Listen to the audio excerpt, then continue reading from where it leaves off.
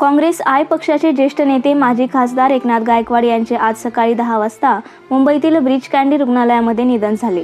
एकनाथ गायकवाड राज्याच्या शालेय शिक्षण मंत्री वर्षा गायकवाड यांचे वडील होते. एकनाथ गायकवाड हे लोकसभेचे माजी सभापती मनोहर जोशी यांचा पराभव करत खासदार झाले. सलग दोन वेळा खासदार मुंबई काँग्रेसचे अध्यक्ष मंत्री अशी त्यांची दैदिप्यमान कारकीर्द होती. मुंबईमध्ये काँग्रेस वाढवण्यामध्ये गायकवाड यांचे मोलाचे योगदान होते. त्यांच्या जाण्यामुळे मुंबई काँग्रेसला फार मोठा फटका बसला आहे. एकनाथ गायकवाड यांना काही दिवसांपूर्वी कोरोनाचा संसर्ग झाला होता. मुंबईतील ब्रिज कँडी रुग्णालयामध्ये उपचार घेत असताना आज त्यांची प्राणज्योत मालवली. त्यांच्या जाण्यामुळे मुंबई काँग्रेसमध्ये फार मोठी पोकळी निर्माण झाली आहे. मायभूमी न्यूज चॅनलच्या वतीने स्वर्गीय एकनाथ गायकवाड यांना भावपूर्ण श्रद्धांजली.